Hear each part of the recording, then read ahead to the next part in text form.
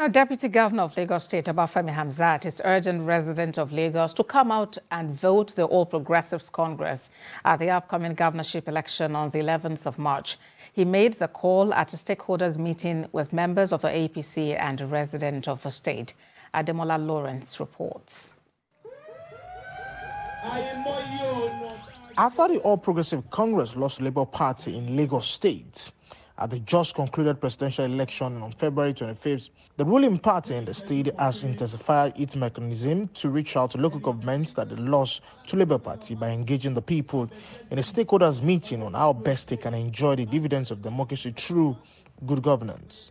At this stakeholders meeting, artisans, religious bodies, market women, and traditional rulers at, at Ajeromi-Ifelodun local government. One after the other, the people came out to express their grievances and how the government can help address it. For the party, a vote for APC will further strengthen good governance being enjoyed by the state.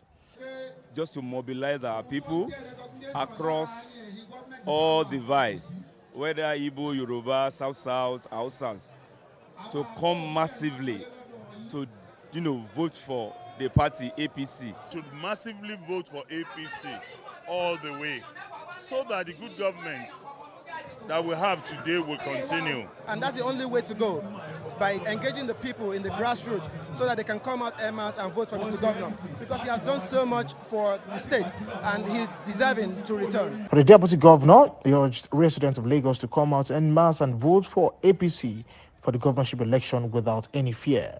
Urging people not to be scared. Our postmortem shows that people said they were scared of call they saw a lot of soldiers and that they were scared and that they thought maybe there would be chaos or whatever that that's why the soldiers are there. So we want to appeal to people go out there and vote massively for our party. And the reasons for our party is to make sure that all the good projects the blue line the red line the everything, the roads, the schools that we are building, all the infrastructure that we are laying across our state. The governorship election is slated to hold on 11th March 2023.